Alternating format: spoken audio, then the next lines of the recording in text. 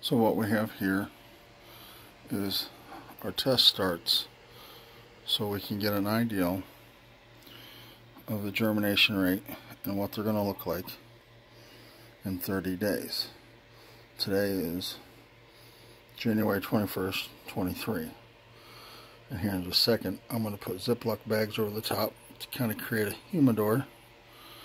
And we'll come back and check on them in a week.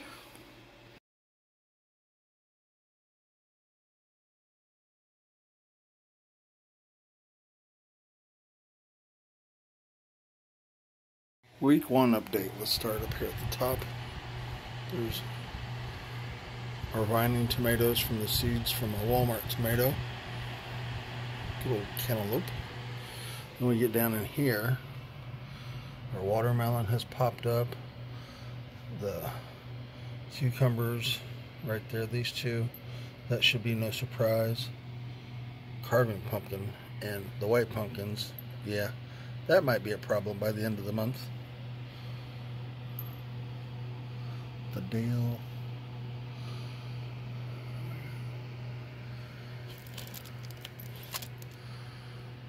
Now, the lavender, if it doesn't do anything, I won't be surprised because I figured out that I've done the seeds wrong.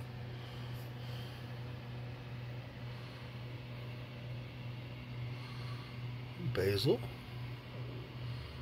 And nobody there yet Was kind of hoping the bell peppers would have popped up.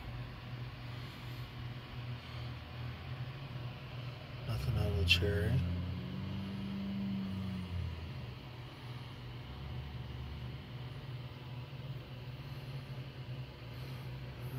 We started over here.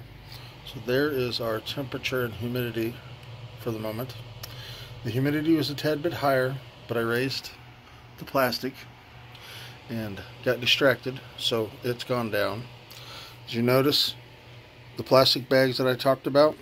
They're not on here. My wife made a good point. Babe if the plastic's down in front of the stand why do we need the bags? She takes care of them for me during the week I travel for my job so we'll come back in a week and see where they all made it to and if we pull this off, week three to the end of this in 30 days, I'm going to do a time lapse for that whole week. So we'll have to see how that turns out.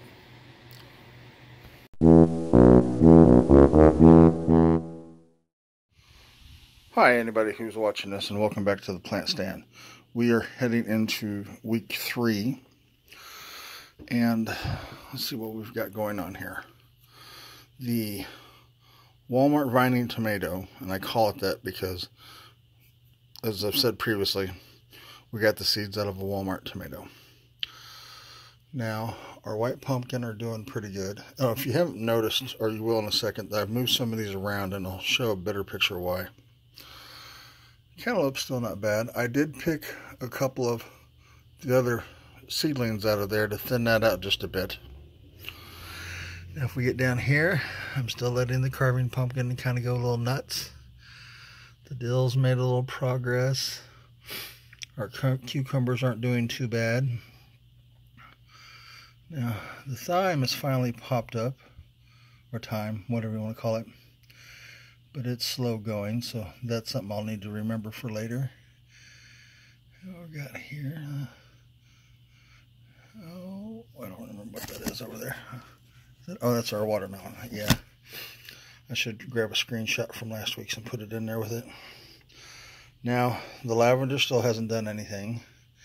And these other herbs have not as well. So, I'm noticing a little bit of white growth on there. So, I think they may be getting too much water. Also dealing with a little bit of fungus gnats. Anybody who's ever had plants knows what that's like. Still nothing out of the bell peppers. That's disappointing. Parsley's finally decided to make an appearance. The Roma tomatoes and the cherry tomato did nothing.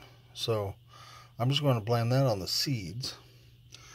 Now, our fancy Italian tomato here has finally sprouted up. The one I'm really hoping for, our Cherokee Purple, that's getting a little bit better.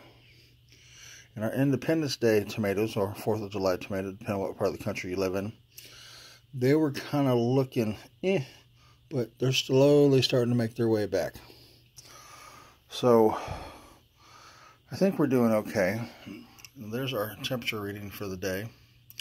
Now, the humidity was up at 46 before I came in here. I'll do a pan around real quick. So, when I go to do our seeds for the plants that will be sold as well as our own, I will start them off in these little totes to make a little bitty humidifier domes, if you will. And then as they, when they pop up, or when they start to sprout, I'll let them get so big and then I'll pop the lids off. And then we'll pluck them out and then we'll put them in their little four inch pots that they'll be sold in or for us. Now there's also, you've probably seen these huge tomato plants here. They got big enough I had to get them out of there. This one back here is a clone from our garden last year. It's a beefsteak. And the other ones, I want a real important thing. Anytime you do a plant, always put a tag on it. I want to say these were from the garden as well, but these were, these might have been a, a bush tomato or a determinate, so I don't remember.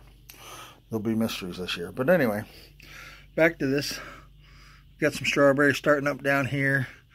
These will be the, the little incubator stations, if you will, whatever you want to call them. And then these are about to get sacrificed. That was just to see how well seeds coming out of a tomato plant would do. But anyway, back to our actual video, what we're talking about. This is our progress for the week. Um, still not decided yet on the time-lapse video because I am... See how good I do this. I'm working on one. The purple container is microgreens. And then that one there is going to be a cantaloupe time lapse. So I've got that going on at the same time. So we're going to wait and see. There's our little bell pepper plant that's been surviving forever. And this is where the mums got moved to for now. My wife's got plans for those, I guess. But I hope I hope we'll have a decent little progress in the next week. Uh, change the watering schedule a little bit, give them a little bit more water. I don't want to give anybody any fertilizer yet. I think that's too early. So we'll come back. Oh, let me move this for a second. Going a little long-winded today. It's going to be fun editing. Sugar cane.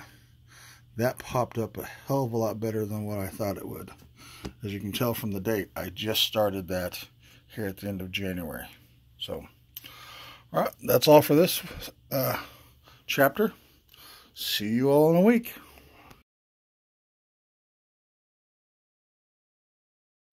All right, so here we are, week four update on the indoor plant stand for our seed starts.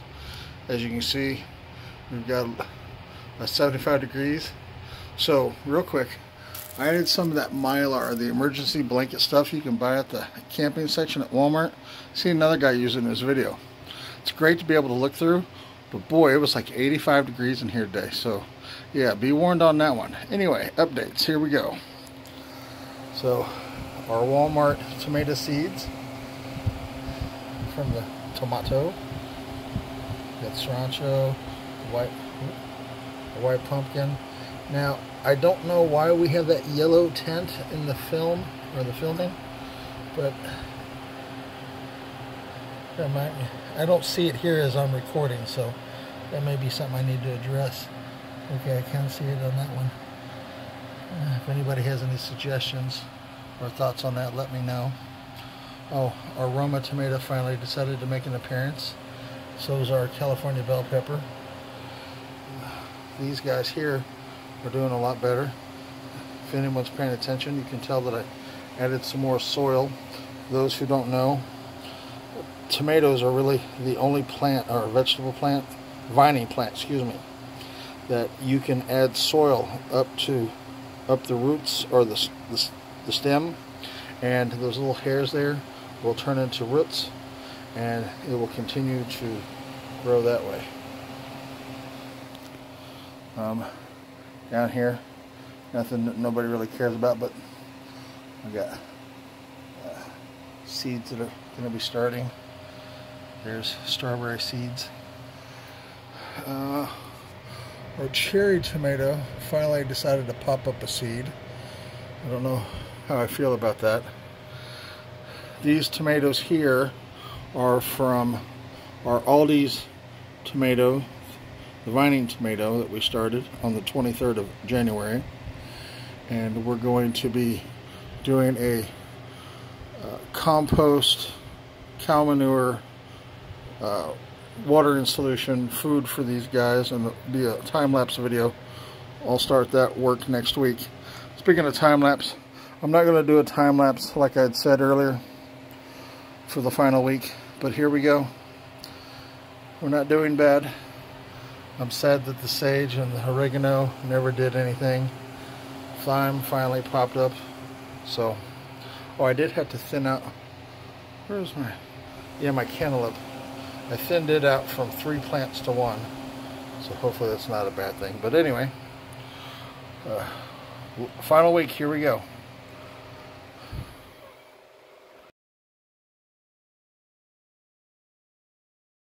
All right, week four of the plant stand and how things were going. So as you can tell definitely now in this update, you can see the yellowing in the leaves. And I have found out, or I'm suspecting, that it's a potassium deficiency with my soil mix. So I'm going to try to correct that over the weekend and see before I start doing anything else on a larger scale. If we can correct it, then cool. But go through here a little bit slower, sorry.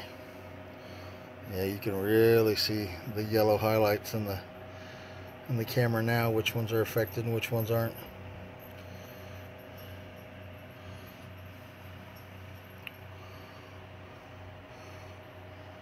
Kind of sad that the colored peppers never did anything, or the oregano, but I've mentioned that. Um, beefsteak, that didn't do squat, but I have that over here. This was from our garden last summer from a clone that I grabbed at the end of the year.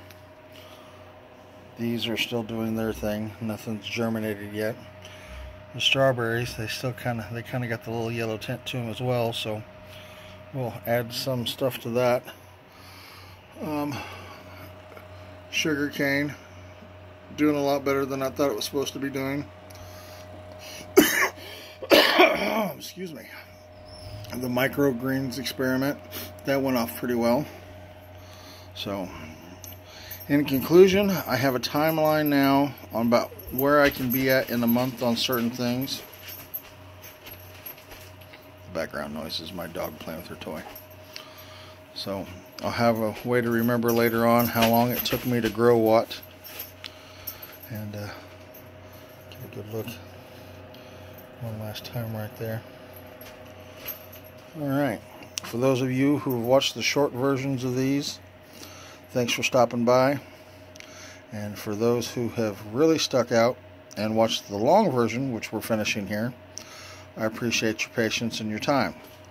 Hopefully, as we do more of these, we'll get a little bit more knowledgeable and as well as better at shooting the videos. One last shot of the tomato clones there. Anyway, thank you all. And uh, we'll see you in the next video.